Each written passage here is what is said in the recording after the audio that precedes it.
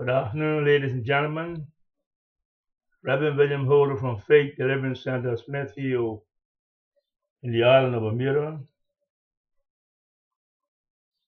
As we have examined and read Hosea chapter 10, verse 1 to 3,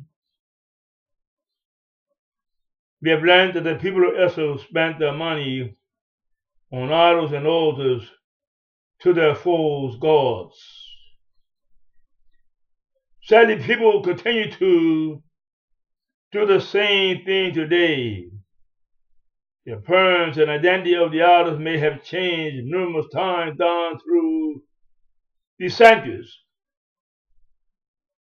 but the harmful impact has not changed. You see, whatever is the focus of the people's hearts and minds will be where they spend their time and money. Think of just a few of the idols and false gods worshipped and glorified in society today. Idols and false gods such as sports, cars, horses, and property. Idols and false gods such as fame, fortune, position, and authority.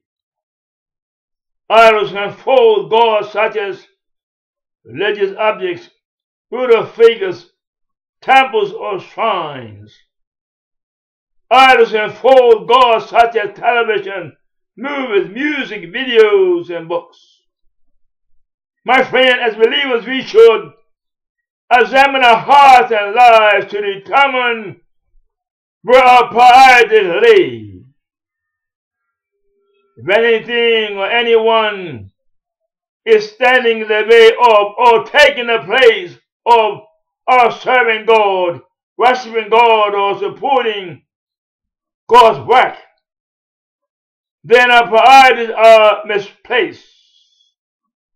And unless we repent of our sins and make God, my friend, our first love according to Revelation chapter 2 verse 4, then we will face the sure judgment of God.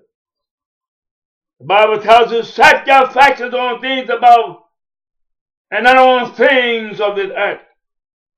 For our life is hidden in Christ, when Christ appears, we shall appear with him in glory. We are told, seek first the kingdom of God and his righteousness, all other things shall be added unto us. God bless you and God be with you is a prayer of our heart.